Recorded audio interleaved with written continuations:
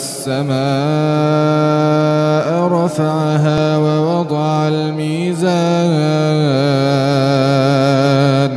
ألا تطغوا في الميزان. وأقيموا الوزن بالقسط ولا تخسروا الميزان. والأرض وضعها للأنام.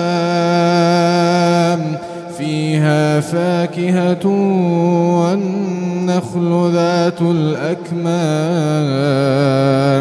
والحب ذو العصف والريحان فبأي آلاء ربكما تكذبان؟